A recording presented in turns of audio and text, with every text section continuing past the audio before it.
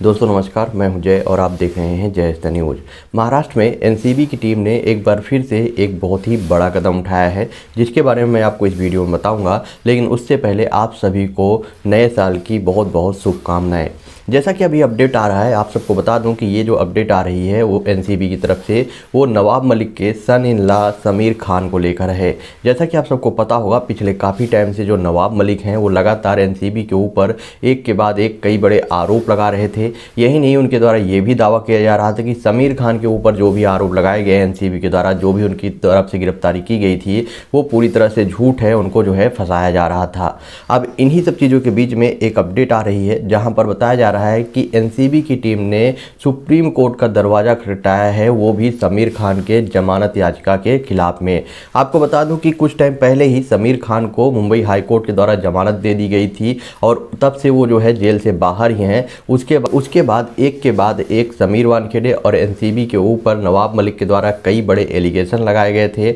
और अब जो है एनसीबी की टीम ने एक बड़ा कदम उठाया है और उन्होंने सुप्रीम कोर्ट में एक याचिका दाखिल की है और इस याचिका में उनके द्वारा डिमांड की गई है कि समीर खान खा, समीर खान की जो बेल याचिका है जो उसको जमानत दी गई है उसको खारिज कर दिया जाए और उसको फिर से गिरफ़्तार करने की अनुमति दी जाए जिससे कि एनसीबी की टीम जो है समीर खान को फिर से गिरफ़्तार कर ले। वायदा वे अभी सुप्रीम कोर्ट के द्वारा इस पर फैसला नहीं सुनाया गया है लेकिन अगर सुप्रीम कोर्ट के द्वारा समीर खान को